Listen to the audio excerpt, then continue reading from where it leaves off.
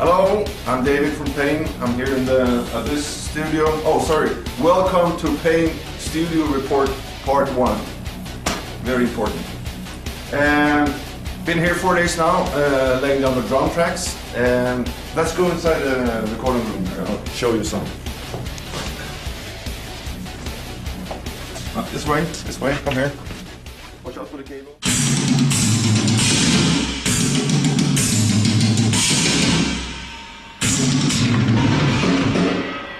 Okay. Okay.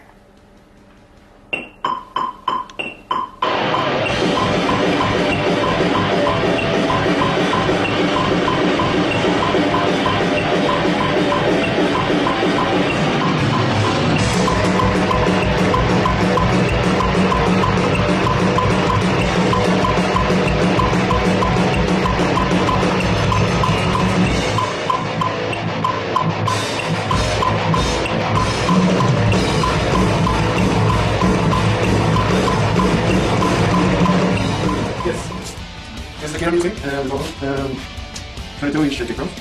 Um, 10, 12, 16 toms with uh, Evans G2 uh, heads. Uh, wood snare. It's, it's very deep. I don't know how deep, but it's uh, for mine. Also, I have a completely new uh, cymbal setup. Uh, all Zildjians. Uh, mostly A custom uh, series. 18, 19, and 20. Also Rezo A custom uh, 14 inch hi-hats. And a 10 inch Rezo uh, splash. Apart from that, I have uh, 18 inch China Trash Oriental.